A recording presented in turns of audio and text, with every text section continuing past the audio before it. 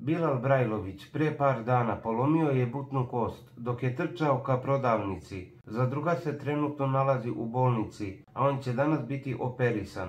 Maja Marinković odvojila se od svih ostalih zadrugara i plakala je na svom krevetu jer joj nedostaje Bilal. Slađana Lazić je jedina prišla da uteši slomljenu Maju. Mnogo mi nedostaje, najteže mi je kad legnem da spavam, rekla je uplakana Maja. Ma znam, ali doći će ne brini, mora da odmara zbog noge, rekla je slađa i zagrlila Maju. Video možete pogledati na zvaničnom YouTube kanalu Zadruge. Za još svesti o zadrugarima pratite kanal Centar dešavanja.